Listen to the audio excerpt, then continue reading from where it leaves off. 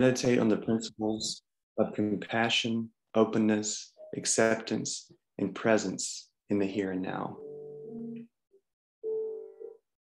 What I'd like to do today is more of a meditation than a pure mindfulness session.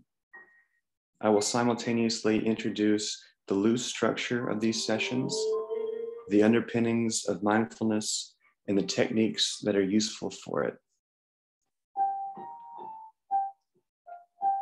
At this time, I ask you all to find a comfortable position wherever you may be. That might mean closing the blinds, turning down the lights, resting your feet flat on the floor, placing your hands on your thighs, or simply sitting on the ground. Make your space as comfortable as possible and make it yours.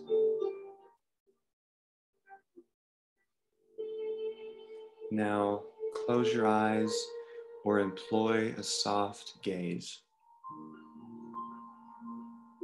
Let your spine stay straight and tall while your shoulders drop and relax.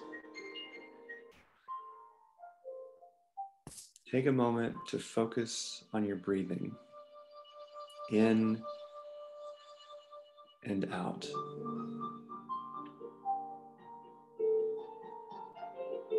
It is not necessary to evaluate your breathing at this time.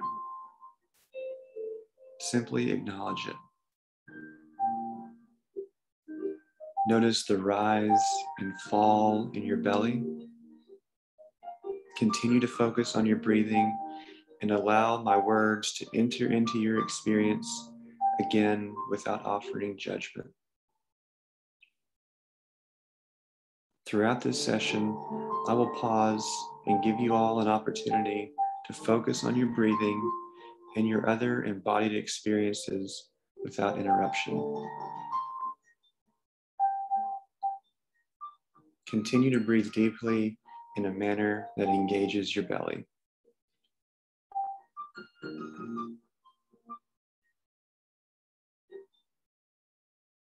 What is your body telling you in this moment?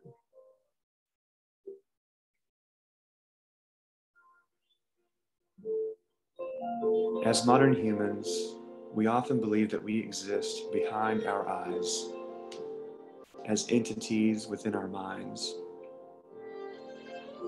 This, however, is a mistake when we consider our anatomy and our experiences. Our bodies are innervated. Our nerves receive messages from the brain, but they also send information to the brain.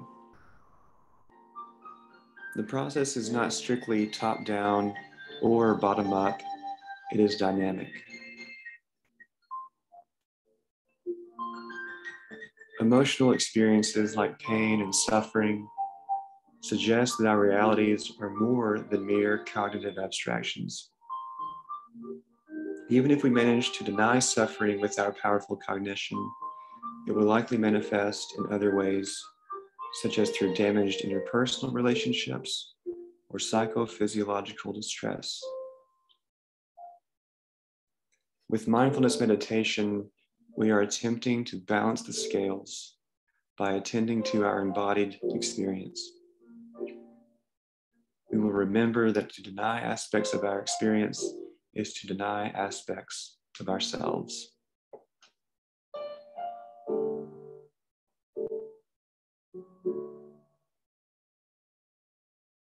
Our society's tendency to elevate the roles of cognitive abstraction deconstruction, representation, or more aptly, representation, isolation, generalization, narrowly focused attention, and rationality leads to other problems.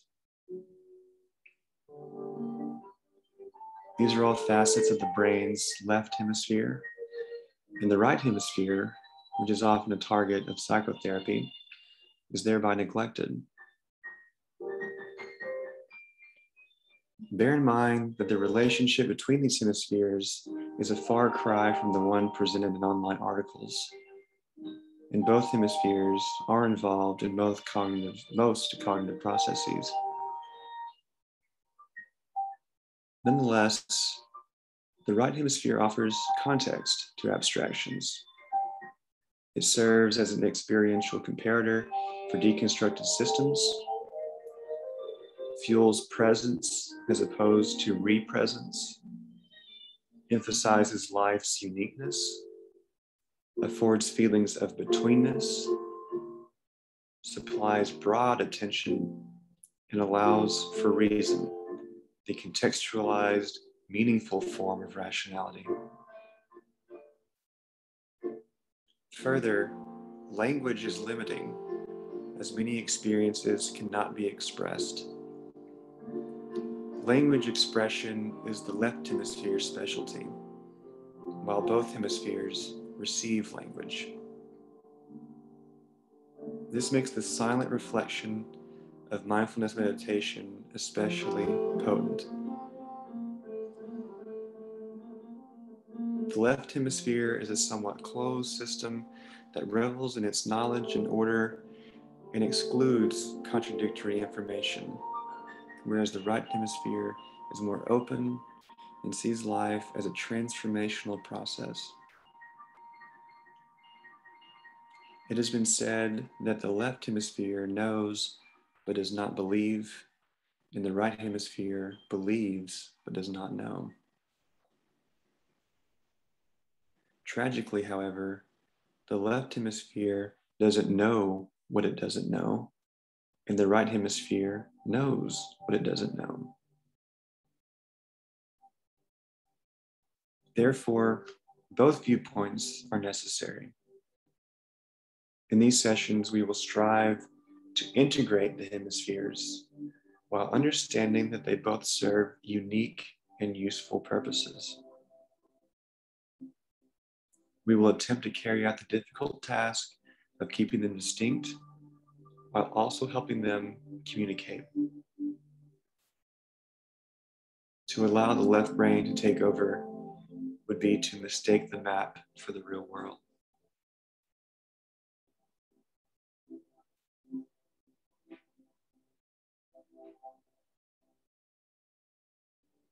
Mindfulness can be a way to understand oneself better and accept the totality of one's experience.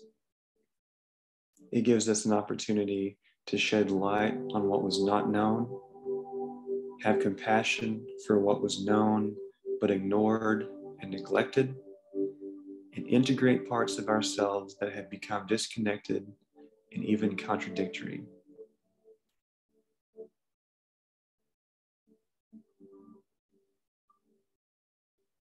Throughout these sessions, I challenge you all to focus on your personal experience and truly experience it in the here and now. This is the time to live in the warm, embodied, contextualized, and unique how of existence, rather than the cold, disembodied, abstracted, and generalized what of experience that our society often demands of us.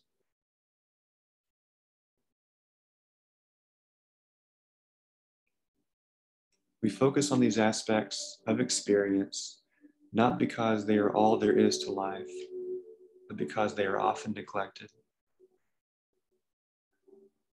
Our society has largely become biased towards the left hemisphere's way of attending to the world. But we remember that to neglect facets of our experience is to neglect facets of ourselves.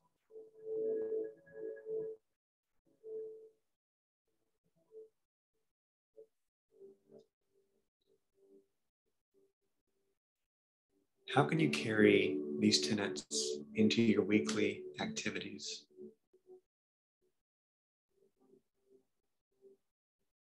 What insight, if any, have you gained that might help you feel connected and integrated in accordance with your authentic and potential selves.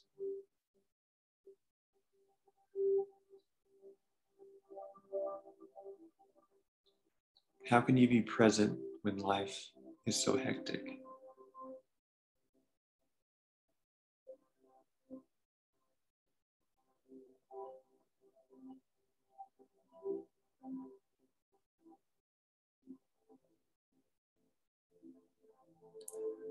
Take a moment to reflect on your experiences in the here and now.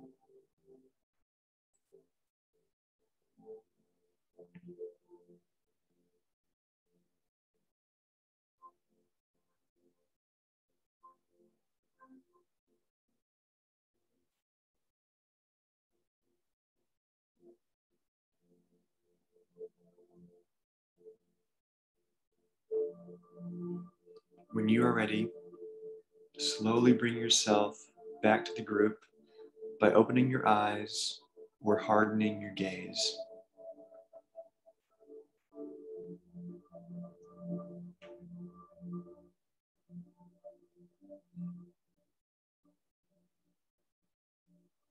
Thank you all for your time. Mariah is providing a feedback survey in the chat box. If you wouldn't mind filling that out as we close today.